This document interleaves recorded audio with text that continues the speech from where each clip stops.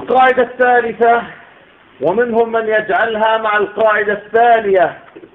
وإنما صرت مع أهل العلم الذين فصلوا بينهما من باب التيسير في الفهم والتسهيل. وهي قاعدة دفع أعلى المفسدتين وإن وقع أدناهما. أو دفع أعلى المفسدتين بارتكاب أخفهما أو دفع أعلى الضررين بارتكاب أخفهما أو دفع أعظم الشرين بارتكاب أخفهما. عبارات كثيرة وعديدة مترددة ومترددة في كتب أهل العلم. لنعيش الآن مع العز والعز في كتابه قواعد الأحكام يكون قد أشبع هذه المسائل بحثا فهو يركز على مقاصد الشريعة في هذا الكتاب. لذا استقى الشاطبي منه في كتابه الموافقات ونقل كلاما طويلا وأحيانا يعزو وأحيانا لا يعزو. ولكن الشاهد أنه هنا ذكر هذه القواعد وإن كان قد وجدت أيضا من كلام أهل العلم مثل الغزالي في المستصفى ووجدت من الباحثين من قال أن الجويني هو أول أو من أوائل الشافعية الذين تكلموا في مسألة مقاصد الشريعة. في بحث يطول ولكن هنا نحن مع العز بن عبد السلام في كلامه في كتابه قواعد الأحكام. في الجزء الأول صفحة 130 قال إذا اجتمعت المفاسد المحضة إذا اجتمعت المفاسد المحضة. ما معنى المفاسد المحضة؟ المفاسد التي ليس فيها أي نوع مصلحة. مفسدة محضة. قال إذا اجتمعت المفاسد المحضة فإن أمكن درءها درأناها.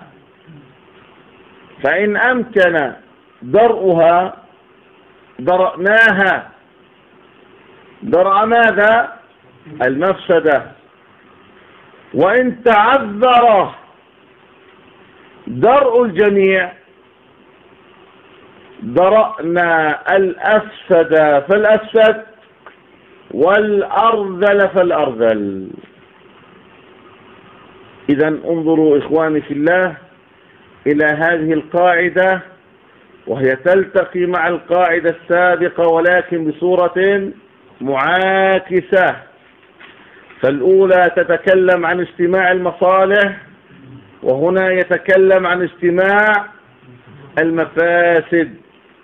إذا اجتمعت المفاسد المحضة فإن أمكن درءها درأناها.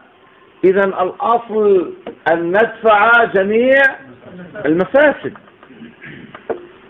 وإن تعذر درء الجميع ولكن قد يعجز الإنسان أن يدفع وأن يتخلص من جميع المفاسد. فهنا ليس له إلا أن يبتعد عن أعظم المفسدتين ولكنه سوف يرتكب أدناهما. فبالتالي هذا أمر لا حرج فيه والإثم مرفوع عنه. وهذا يلتقي مع أن الضرر يزال ولكنه لم يستطع أن يزيله كليا إلا بارتكاب أخف الضررين بارتكاب أخف الضررين. فإذا عندنا الأصل أننا نتخلص من جميع الضرر. ولكن عند التزاحم لا بد أن تقع إحدى المفسدتين أو يقع أحد الضررين. فعندها لا بد أن نرتكب أخف الشرين وأخف الضررين وأن نقع في أخف المفسدتين. هذه هي الشريعة. وهذا هو الدين. لذا قال ابن القيم في كتابه العظيم إعلام الموقعين في الجزء الخامس صفحة 230 إلى 231 قال وقاعدة الشرع والقدر تحصيل أعلى المصلحتين. تحصيل أعلى المصلحتين وإن فات أدناهما. هذه القاعدة السابقة. قال ودفع أعلى المفسدتين وإن وقع أدناهما. ودفع أعلى المفسدتين وإن وقع أدناهما. حقيقة هذه القاعدة عليها أدلة كثيرة من شرع الله عز وجل. ولكننا نكتفي بدليل واحد وهو ما رواه البخاري في صحيحه. رقم 1586 ومسلم رقم 1333 بعد 401 واللفظ له أي اللفظ لمسلم. من حديث عائشة رضي الله عنها قالت قال رسول الله صلى الله عليه وسلم يا عائشة لولا أن قومك حديث عهد بشرك لهدمت الكعبة. لولا أن قومك حديث عهد بشرك لهدمت الكعبة فألزقتها بالأرض. وجعلت لها بابين بابا شرقيا وبابا غربيا. وزدت فيها ستة أذرع من الحجر فإن قريشا اقتصرتها حيث بنت الكعبة. ملخص الحديث أنه عندما هدمت الكعبة في الجاهلية بسبب سيل أصاب الكعبة فتعهد وتعهدت كل قبيلة أن تبني جزءا من الكعبة من جهة فقصرت النفقة بقوم فلم يتموا بناء الكعبة على قواعد إبراهيم. فهنا عندما دخل النبي صلى الله عليه وسلم مكة فاتحا ودخل من دخل في دين الله عز وجل أفواجا قال لعائشة أم المؤمنين يا عائشة لولا أن قومك حديث عهد بالشرك أي هؤلاء الذين دخلوا بالإسلام ليس لهم وقت طويل قد دخلوا فيه في الإسلام فهم حديث عهد بكفر. فلولا حالهم هذا لهدمت الكعبة. لما يريد أن يهدمها النبي صلى الله عليه وسلم حتى تبنى على قواعد إبراهيم عليه الصلاة والسلام. حتى تبنى البناء الكامل الذي كان في زمن إبراهيم عليه الصلاة والسلام. وهذا الباب المرتفع. ليس هو الباب الشرعي. لألزقتها بالأرض. وجعلت لها بابين. بابا شرقيا وبابا غربيا. باب يدخل منه الناس وباب يخرجون منه. ولكن لما لم يفعل النبي صلى الله عليه وسلم هذا الأمر بسبب أنهم حديث عهد بشرك قال فإن قريشا اقتصرتها حيث بنت الكعبة. إذا هنا اجتمعت مفسدتان. المفسدة الأولى وهي بناء الكعبة على غير قواعد إبراهيم عليه الصلاة والسلام. والمفسدة الثانية وهي ماذا؟ ارتداد الناس عن دين الله عز وجل لأنهم حديث عهد بإسلام وحديث عهد أيضا بشرك. فهنا اجتمعت مفسدتان. من يذكر لي المفسدتين اللتين اجتمعتا في هذا الحديث؟ تفضل. مفسدة أولا هدم الكعبة وبنائها على لا. ما هي المفسدة الأولى في الأخير؟ الكعبة على غير قواعد إبراهيم. إذا هذه المفسدة الأولى أن الكعبة مبنية على غير قواعد إبراهيم عليه الصلاة والسلام. والمفسدة الثانية ارتداد الناس إن هدمت الكعبة لأنهم نعم ارتداد الناس إذا هدمت الكعبة فحصلت مفسدتان فالنبي صلى الله عليه وسلم طبق هذه القاعدة ومنه عرفناها.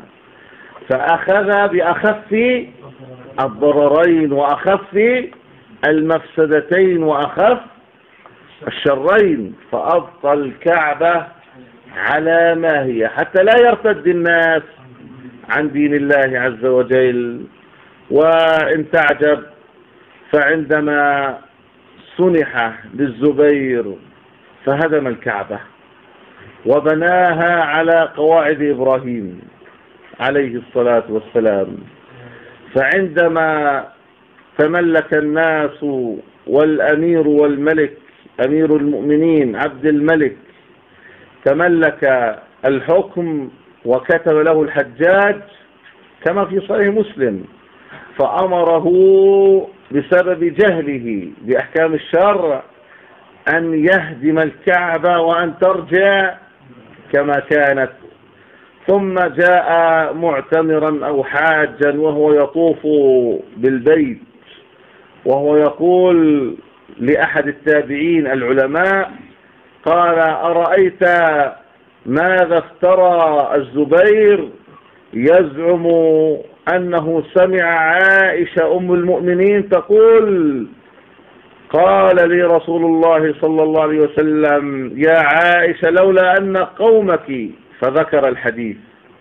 فقال له الحارث لا والله يا أمير المؤمنين فأنا سمعت هذا الحديث أيضا من عائشة. فقال يا ليتني سمعته منك. فانظر إلى الجهل ماذا يؤدي بصاحبه. فالجاهل عدو نفسه. علق ابن القيم رحمه الله على هذا الحديث في كتابه إعلام الموقعين. في الجزء الرابع صفحة ثلاثمائة وتسع وثلاثين قال قال فقد كان رسول الله صلى الله عليه وسلم يرى بمكة أكبر المنكرات. ولا يستطيع تغييرها. هذا متى؟ قبل أن يفتح مكة عليه الصلاة والسلام.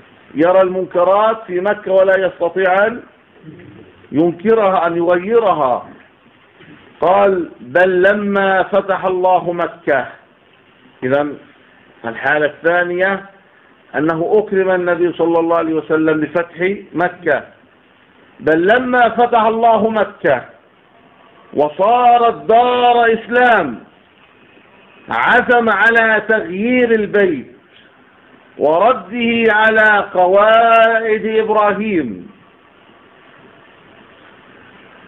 ومنعه من ذلك مع قدرته. انظروا. ومنعه من ذلك مع قدرته خشية وقوع ما هو أعظم منه. من عدم احتمال قريش لذلك. لقرب عهدهم بالإسلام وكونهم حديثي عهد بكفر.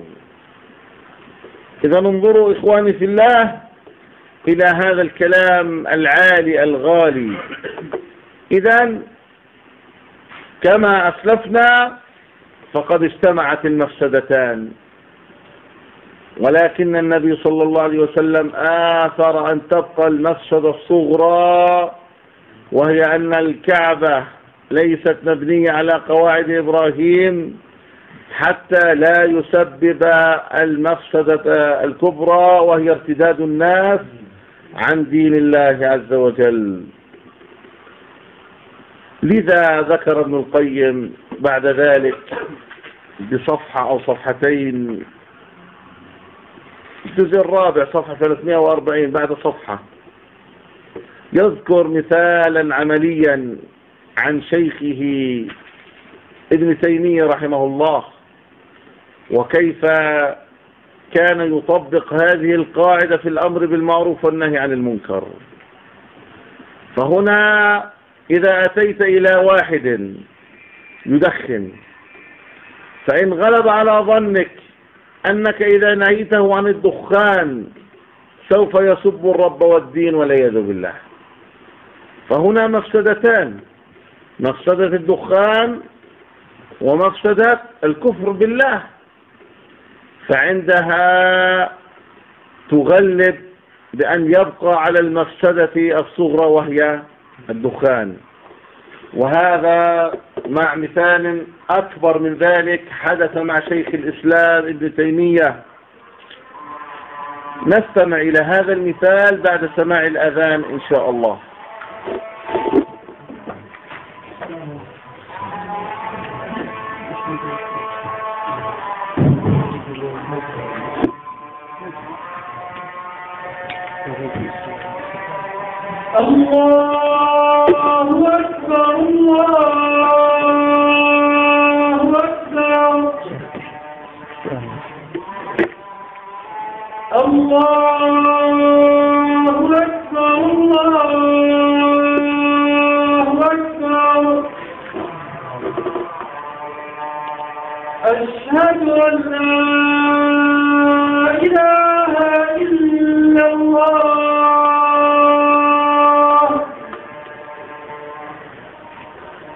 أشهد أن لا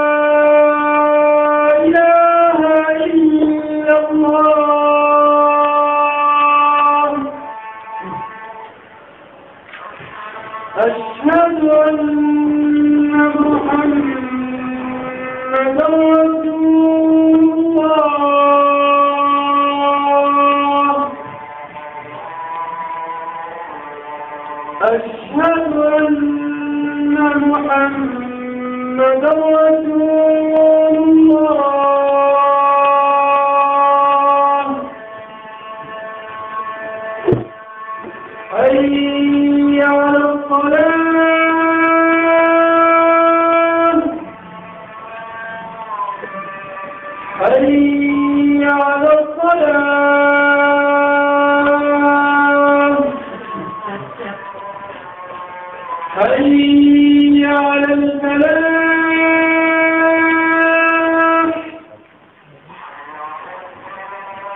حي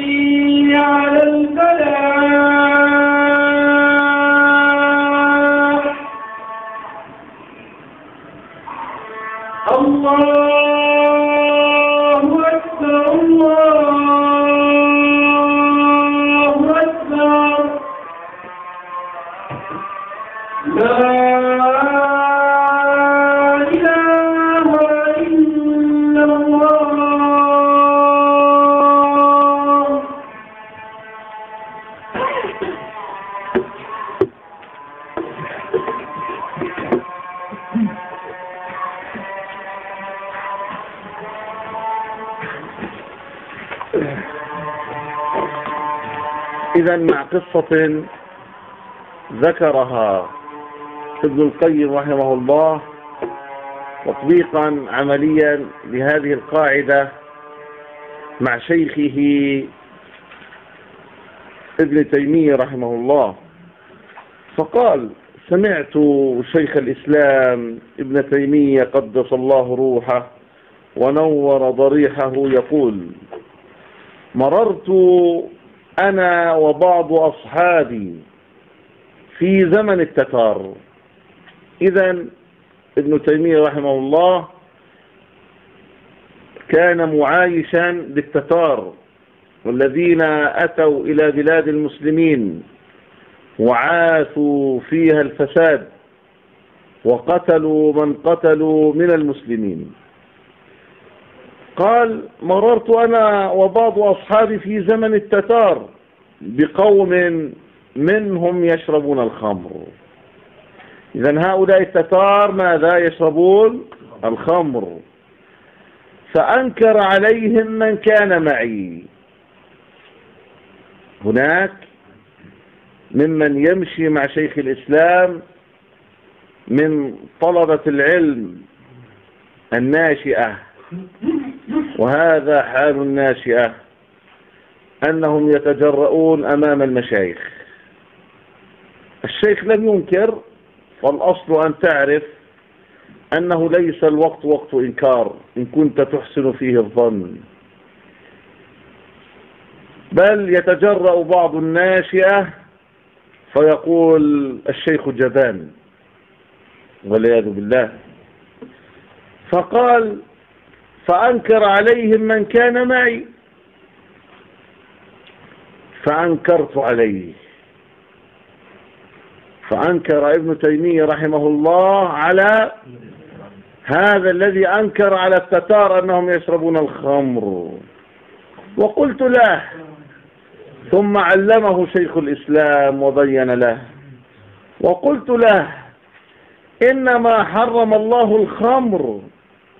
لأنها تصد عن ذكر الله وعن الصلاة.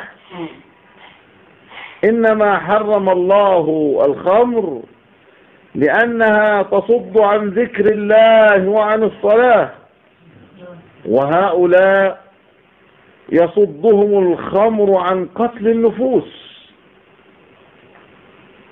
وسبي الذرية وأخذ الأموال فدعهم إذا المقصد من تحريم الخمر ما هو؟ لأنها تصد عن ذكر الله وعن الصلاة.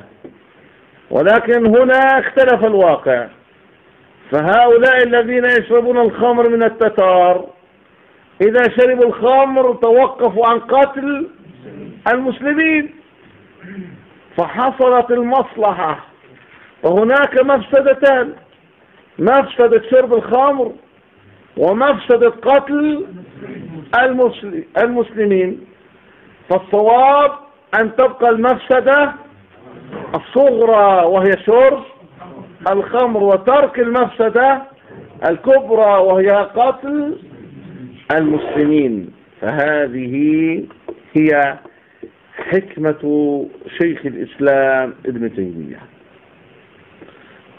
إذا إخواني في الله حقيقة تبقى قواعد أيضا فرعية أخرى نأتي بها إن شاء الله في درس لاحق ولكن قد أعلن بعض مشايخنا عن دورة سوف تكون لمدة أسبوعين إن شاء الله في مسجد ضاحية الحج حسن فبناء على تجميع المصالح فنؤجل الدرس إن شاء الله إلى ما بعد انتهاء الدورة وخصوصا أننا إن شاء الله على نية في سفر إلى العمرة إن شاء الله. فبعد الرجوع من العمرة تكون أيضا الدورة قد انتهت. فآمل أن تجمعوا بين المصلحتين بأن تتابعوا هذا الدرس بعد انقطاعه وفي نفس الوقت تعملوا على متابعة هذه الدورة. وبما أنه بقي وقت يسير للإقامة فنحاول أن نراجع الدرس إن شاء الله. ما معنى قاعدة تحصيل أعلى المصلحتين وإن فاتت أدناهما؟ ما معنى تحصيل أعلى المصلحتين وإن فاتت أدناهما. تفضل. أي إذا اجتمعت مصلحتين. مصلحتان. مصلحتان فإن يعني آه، نأتي بالمصلحة التي هي أعلى. لا. آه، نأتي بالمصلحة التي أعلى. نفعل لتزاحم المصلحتين.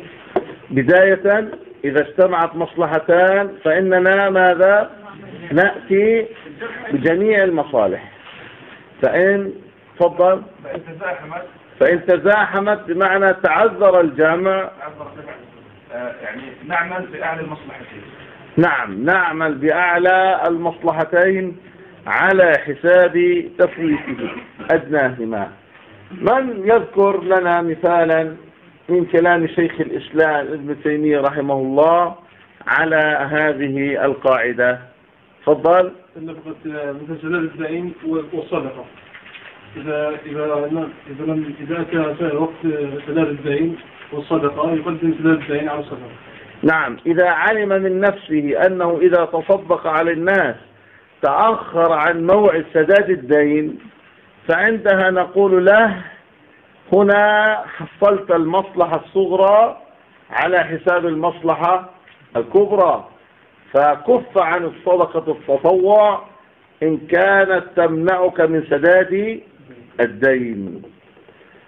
مثال آخر من كلام شيخ الإسلام ابن تيمية. تفضل.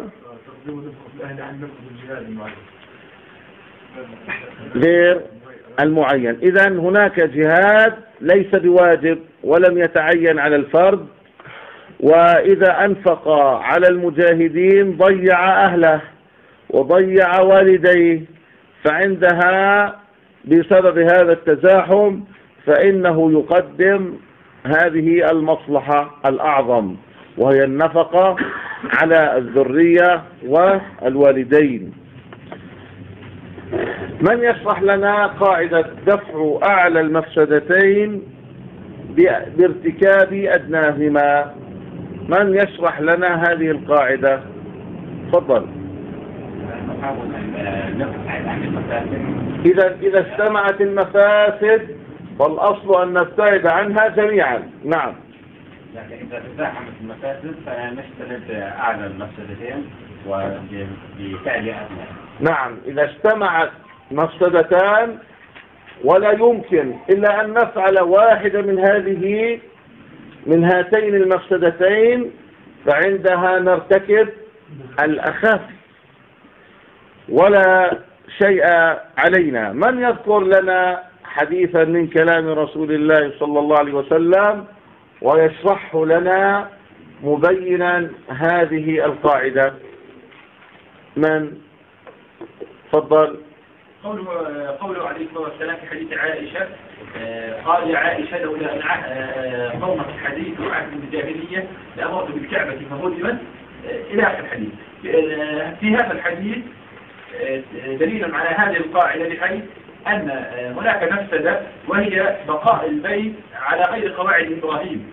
ومفسدة أخرى هي آه، صد الناس الذين قد آمنوا حديثا عن دينهم قد يفتنون. فالنبي صلى الله عليه وسلم قدم آه، المفسدة آه، قدم المفسدة الصغرى على حساب الكبرى وهي ترك بناء البيت على قواعد إبراهيم خشية خشية أن يرتد الناس عن دينهم.